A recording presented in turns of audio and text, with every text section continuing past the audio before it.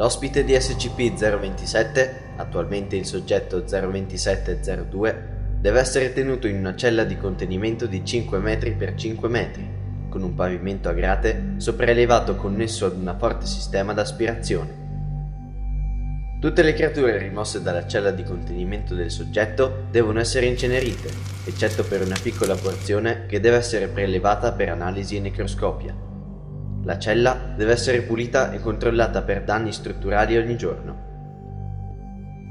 Il soggetto 02702 deve essere monitorato da almeno due addetti del personale per tutto il tempo.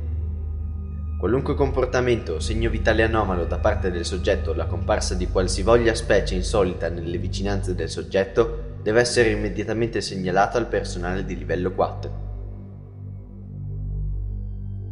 Il personale di sicurezza assegnato ad SCP-027 deve essere vaccinato contro tutti i patogeni animali conosciuti e deve essere armato con pistole tranquillanti e da ordini permanenti di sottomettere il soggetto in caso di necessità. Fino a quando SCP-027 non viene compreso a meglio, nessun addetto del personale con autorizzazione di livello 4 superiore dovrebbe avvicinarsi a 200 metri dal soggetto.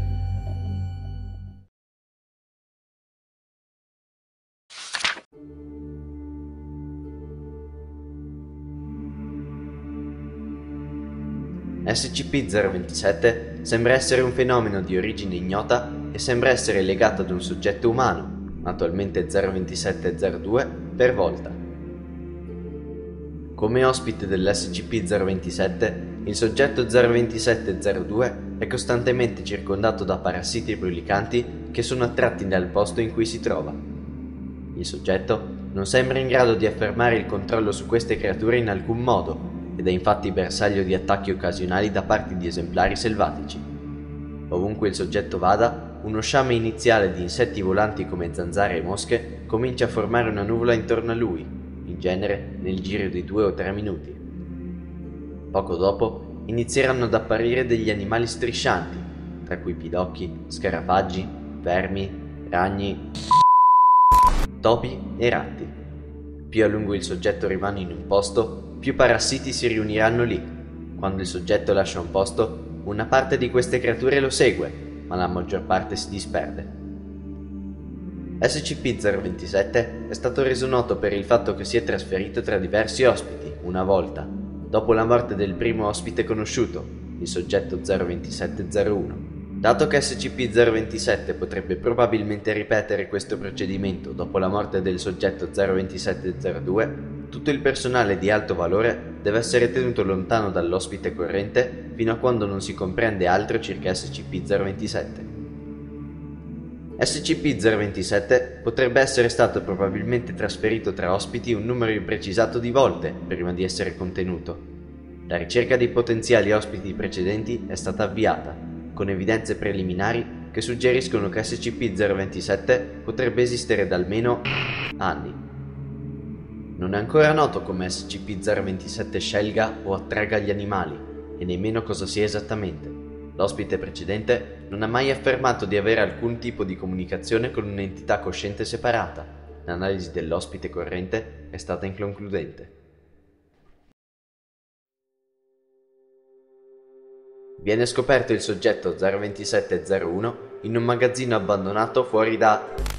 completamente invaso da topi, scarafaggi ed altri parassiti e viene contenuto e catalogato come SCP-027. Il soggetto è un maschio caucasico sulla quarantina, di media statura ma magro, sporco e coperto di morsi e graffi. Il soggetto ha inoltre mostrato anche sintomi di degrado mentale, la prova evidente di un uso massiccio di alcol e droghe illecite, e segni di una prolungata privazione del sonno. Il soggetto spira L'autopsia dimostra che più del 70% del corpo del soggetto una colonia di ratti nidificati nell'addome per almeno generazioni. Tra le 140 e le 150 ore dopo la morte del soggetto, il responsabile della sicurezza afferma di essersi svegliato per problemi respiratori a causa di una grande mosca che è strisciata su per il suo naso. Di seguito si è scoperto che aveva giaciuto delle uova. Le osservazioni successive hanno portato alla classificazione del responsabile come soggetto 02702. L'ospite originale viene riclassificato come 02701 ed SCP-027 viene ridefinito.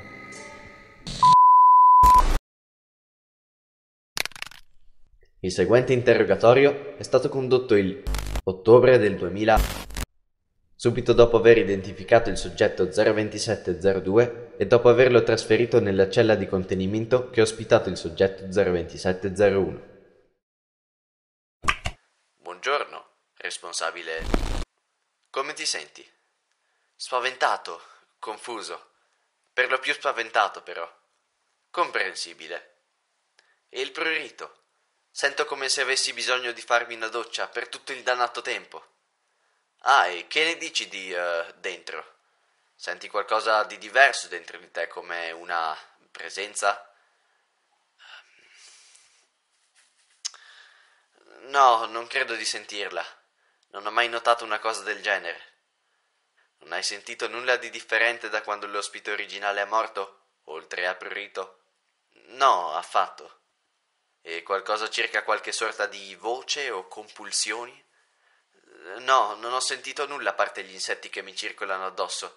Mi sento sporco e spaventato e, e dottore, per quanto riguarda la mia famiglia, deve togliermi questa cosa di dosso così che io possa vederli di nuovo. Ma, ma certo, Faremo tutto il possibile per rimuovere 027 da te. Dio, io... mi dispiace. Poco dopo che questo interrogatorio ha avuto luogo, il dottor Jameson e altri diversi membri del team di ricerca per SCP-027 sono stati trasferiti ad altri progetti.